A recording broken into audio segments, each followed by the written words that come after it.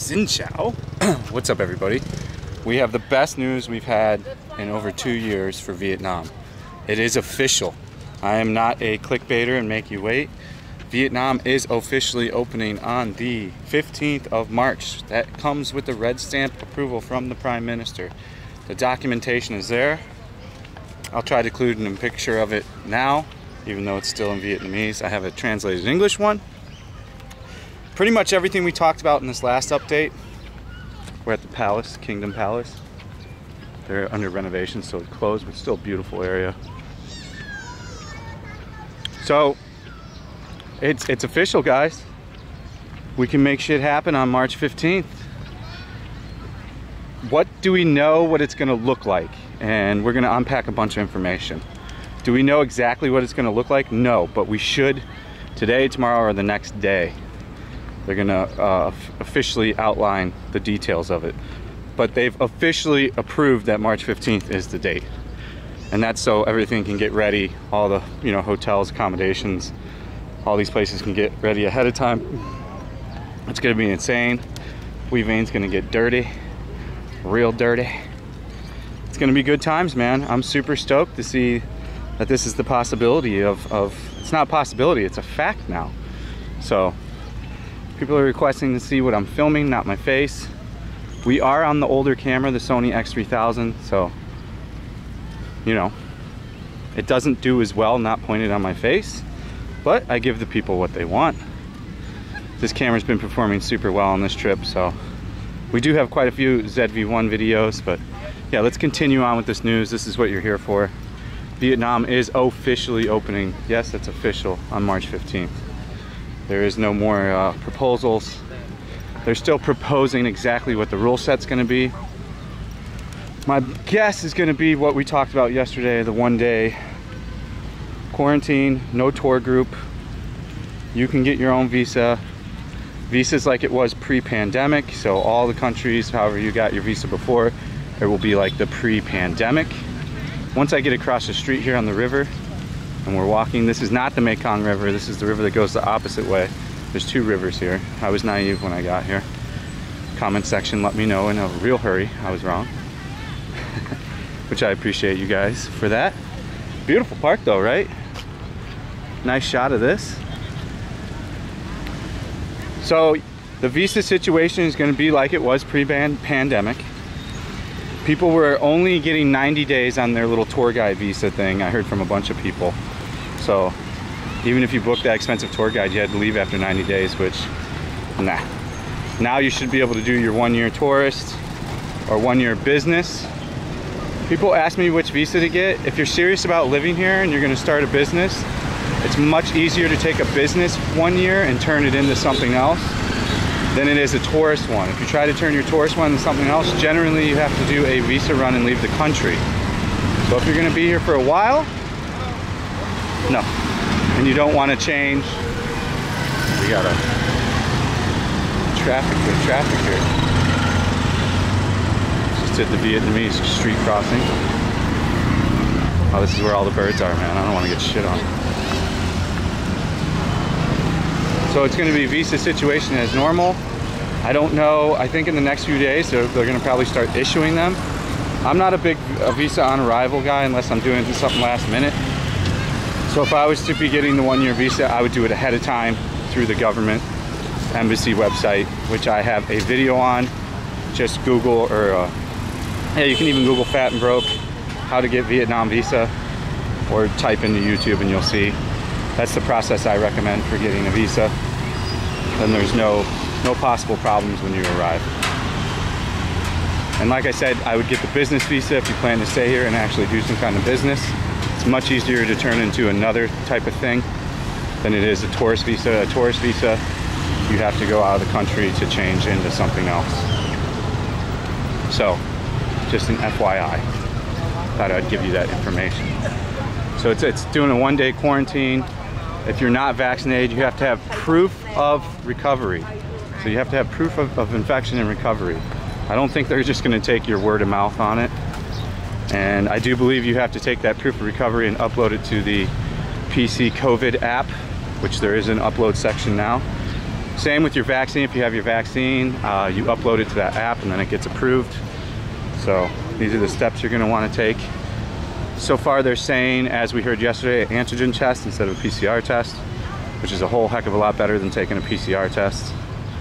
As you'll see when I get back to Vietnam, we'll talk about that. I don't know when I'll be back in Vietnam, hopefully soon. Time will tell on that. Also, you will need health insurance for COVID treatment if you get COVID. Now, it's very easy to get international health insurance. It's not very expensive. I recommend you do it anyways, especially in a country like this. In Vietnam, you could get hit by a car or on your motorbike. You could get injured on a grab driver motorbike. Sure, it, it doesn't happen all the time, but possibility is there and you don't want to be paying out of pocket for that stuff. You want to have coverage, so look that up on Google. Make sure you get that, and you'll be in good, good working order. I think it's going to be absolutely insane once they open on the 15th. I think you're going to see a lot of people booking that. A lot of people want to get into Vietnam. So it's a very exciting time, you know. They finally aren't dragging the wheels anymore. You know, as you can see, Cambodia is wide open. There's no feet dragging in Cambodia right now.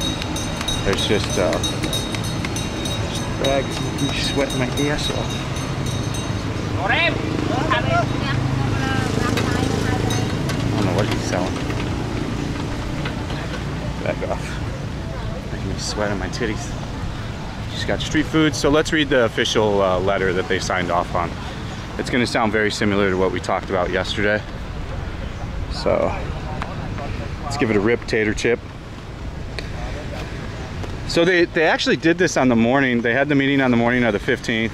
And then they did the letter on the 16th last night. And then they released it. And then they re they released it today on the 17th at noon. So about four hours ago. On the morning of the 15th, the government headquarters, Vu Duc Dam, chaired a meeting to discuss.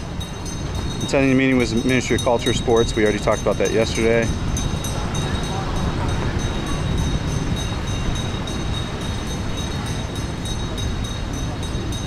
Hold on here.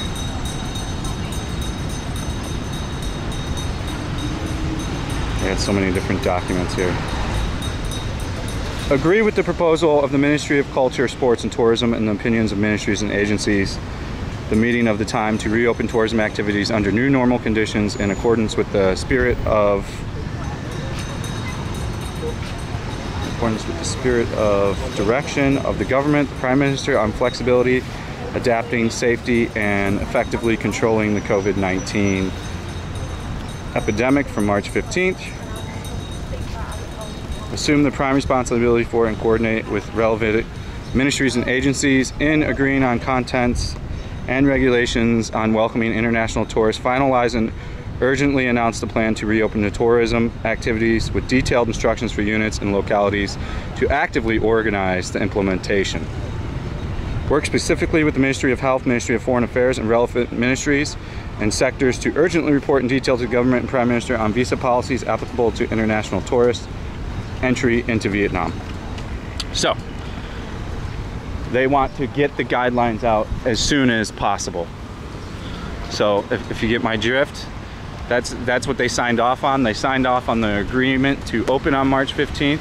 The official stamp is on that document, and now they want to urgently get out all the information so people can plan accordingly and know what kind of visa they can get. They already gave a brief outline on what that's going to look like. We've gone over that pretty much in the beginning of this video and during this video. But it looks like visa as normal pre-COVID. That is what they're trying to pitch right now.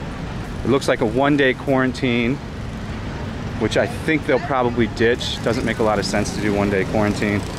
A rapid uh, antigen test once you arrive at your hotel, I think is sufficient. I don't think you need to do, I think they could even do like what they do in uh, Cambodia and just do the rapid test at the airport. I mean, I don't know how that would work with the influx. I think you're gonna see a lot more people coming to Vietnam than you would to Cambodia. So that's fine.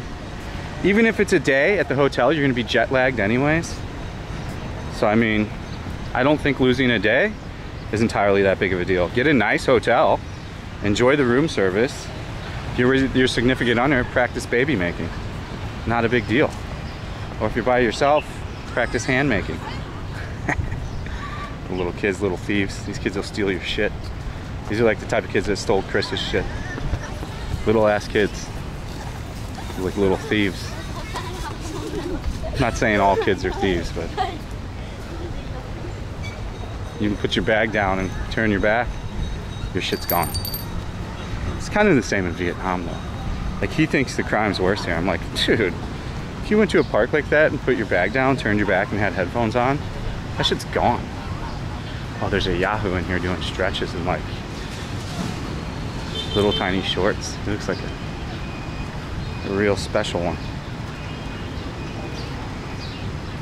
So pretty much now we're in the, the, the waiting game these next few days to see what they officially release for the documentation on this stuff.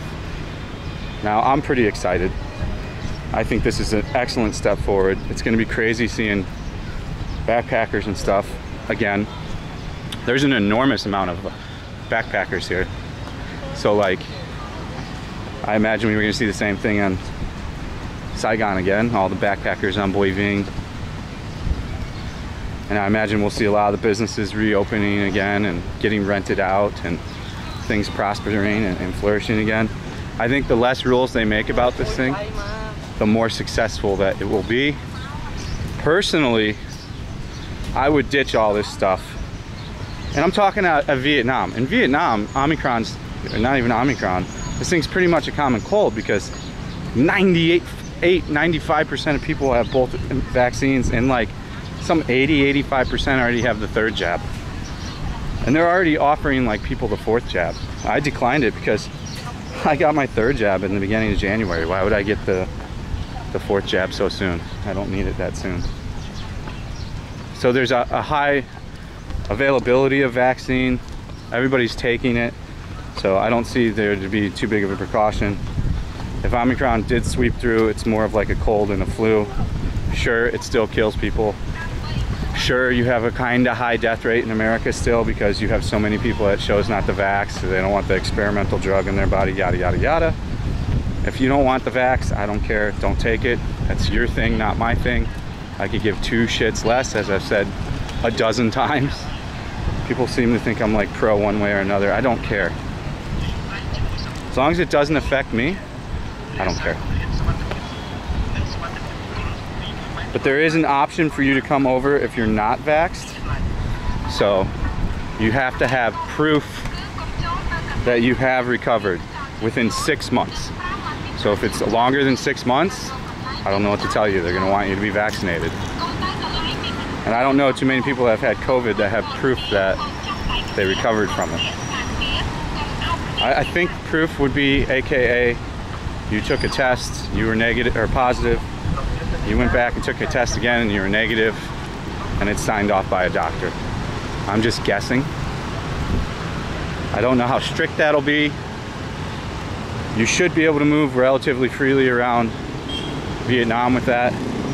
They've kind of ditched the the uh, checking the app for vaccine stuff. They used to for months. It was heavily checked every single place you went. Restaurants, malls, anywhere. Now it's it's much less. Uh, Windway Flower Festival checked, and I had a few other places check me. In Cambodia, I had a few clubs check me. A few different kind of clubs, like uh, party clubs, which I found to be odd. And that was it for Cambodia. Now, when I did go to Nha Trang, I was checked every single place. But I haven't been back there since. That was a month or two ago, so. I'm gonna try to get over to Da Nang and Nha Trang before we travel to the Philippines. Philippines is gonna be delayed now because I ended up having to be here longer. So now I have to save up more money for that trip. I live within my means, so it's a matter of saving then being able to do something. So I have to save up a certain amount of money and I won't do another trip until it's just an antigen test to get back in, which looks like by the Feb 15th February or uh, March, that's to be no problem. The PCR test is a complete joke and waste of money. They're running a racket on that shit here. Cambodia is disgusting on their PCR test, to be honest with you. It's like 80 to $200. Cheapest one's 80, and it's booked like a month ahead of time. I'm like, how am I gonna know when to book my PCR? I'm like, do you know how stupid that sounds to the lady? And I'm like, how can you be booked? Why, why are you guys so unorganized with this PCR test, man? It takes minutes in Saigon, but it somehow takes hours here. It's, and there's only like four places that do it. Yeah. Um, so yeah, that's the video, guys. I think it's time to get excited. The light's at the end of the tunnel. This is the best news we've heard in years. Finally, Vietnam is getting back to normal and, and ditching their keep everyone out COVID. Japan is also going to announce regulation change today. So if you're looking to get into Japan, probably look for a J Japan YouTuber that does news because I think that news came out today as this video will come out today. So it looks like Japan's lifting restrictions as well, as they should. Once you have a high vaccination rate, this thing isn't gonna send you to the hospital or put you on life support, so. And that's proof in the facts and the statistics. So, that's the video, guys. I hope you guys found that interesting. If you did, there's links in the description on how to support the channel. I'd greatly appreciate it if you did that. If you liked the video, smash that like button. If you want to comment, comment. If you didn't like the video, destroy the, the dislike button. And if you want to subscribe to the channel, I would greatly appreciate that, guys. Stay frosty. See you in Vietnam on March 15th. Peace out.